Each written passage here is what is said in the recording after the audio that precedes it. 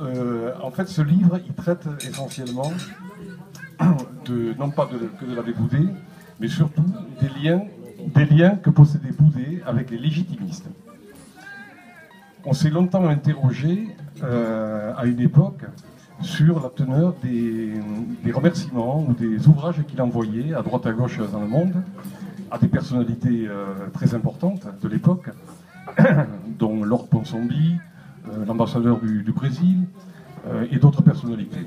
Alors pourquoi eux, pourquoi pas d'autres Enfin, c'est- en tout cas, c'est ce qu'on a retenu. Et en particulier, euh, un certain Antoine de Navadi. Alors, à l'époque, je m'étais posé la question, puisque j'avais lu, il y avait une coquille dans un ouvrage de Jean-Luc Chomeil, où il était écrit Chanson d'Abadi. Alors c'était une coquille involontaire, en fait, c'est un nom qui avait été vu assez rapidement. Euh, il voulait parler de Thomson d'Abadi. Thomson d'Abadi, c'était le premier nom d'Antoine d'Abadi, puisqu'il s'était marié à, Dublin avec euh, une, famille très riche du pays, Thomson of Park. Et à cette époque-là, je m'étais interrogé pourquoi lui, pourquoi pas un autre, mais ça m'avait euh, complètement passé à côté, puisque il s'est écoulé des années et des années sans que je revienne là-dessus. Et puis, tout à fait par hasard, il y a cinq ans, j'avais voulu visiter son château à maintes reprises. J'étais passé devant euh, peut-être euh, 20 fois. J'ai jamais eu la curiosité de m'arrêter.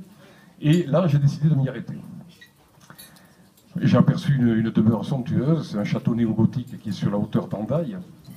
À l'origine, c'était euh, construit sur un domaine de plus de 300 hectares. hein. Et ce château a certainement coûté euh, beaucoup, beaucoup d'argent. Mais surtout, ce qu'il faut retenir, c'est la personnalité, de la personne donc, qui a fait construire ce château.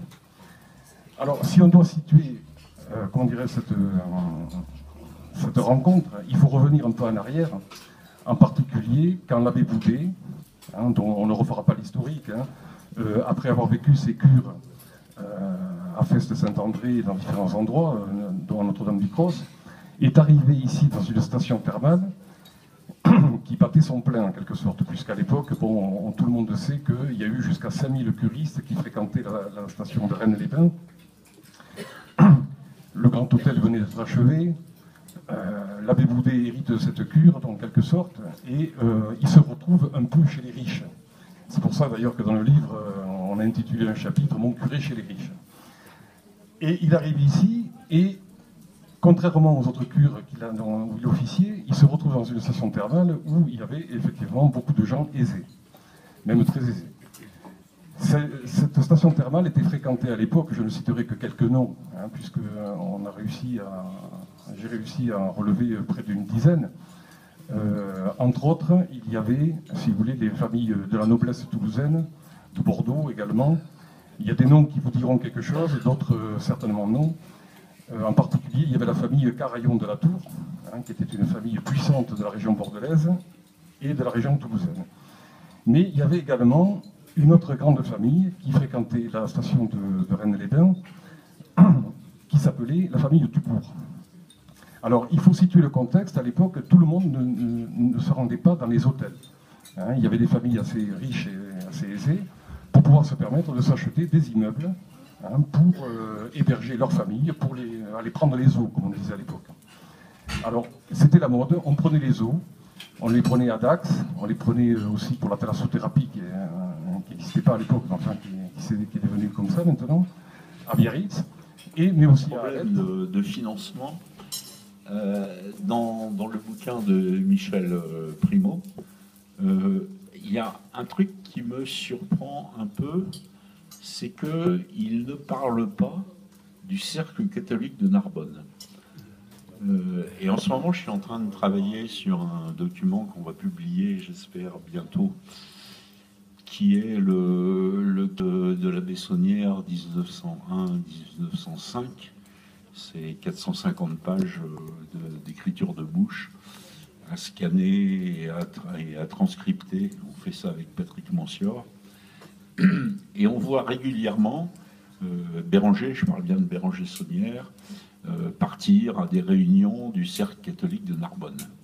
Cercle catholique de Narbonne qui à une époque a été dirigé par euh, son frère, hein, Alfred, et qui était, disons, le syndicat, aujourd'hui on dirait réactionnaire, j'aime pas le mot de réactionnaire, disons le syndicat bien pensant, légitimiste, contre, contre la République et les radicaux socialistes. Et on, voit bien dans les échanges que il y a ce qu'on appellerait aujourd'hui une plateforme financière un peu, un peu bizarroïde, où ça finance, on reçoit plein d'argent, mais on en ressort aussi euh, dans tous les sens, et notamment euh, vis-à-vis des, des, petites gens euh, pour, comment dire, lutter contre les, radicaux socialistes, l'école laïque, les blablabla. Bla, bla, donc Michel, Michel Primo, est-ce que tu as une opinion là-dessus? Est-ce que, est -ce que c'est un sujet qui t'a interpellé? Moi, ça m'a interpellé. Alors, moi, j'avais découvert le, cercle catholique euh, de, Narbonne il y a quelques années. Euh, Christian Doumergue avait écrit quelque chose là-dessus. Euh, la première chose que j'ai faite, c'est de m'intéresser au cercle catholique de Toulouse. Alors, évidemment, sur Antoine Dabadi, on n'a pas tout dit. Hein. il faudrait y passer jusqu'à demain matin et encore. Il faut savoir que Antoine Dabadi, sa propre sœur, était la supérieure de la Compagnie du Sacré-Cœur de Jésus à Toulouse. Et la Compagnie du Sacré-Cœur de Toulouse était à proximité immédiate du cercle catholique de Toulouse. C'est surtout les, interconnexions qui sont importantes là-dedans. Alors effectivement, pour bien comprendre, si vous voulez, cette période-là, il faut s'immiscer dans cette période. C'est une période où la dévotion est totale. Hein, euh, la religiosité des gens est extrêmement importante. Hein, on ne peut pas raisonner, si vous voulez, aujourd'hui, comment... J'ai lu son bouquin et je l'ai refeuilleté cet après-midi euh, à la librairie de Rennes-les-Bains entre deux clients euh, assez rares en ce moment. Et j'ai noté quand même une chose, c'est que à un moment, euh, en parlant de, à la fin de la partie Boudet et avant la partie Michel Bis, dont on va parler évidemment, la dalle de la marquise, mais on n'y est pas encore. Euh, Michel Primo dit il y a quand même un grand mystère dans le bouquin de Henri Boudet, et le grand mystère, c'est qu'il ne parle pas du Christ, mais il parle du Fils de l'homme.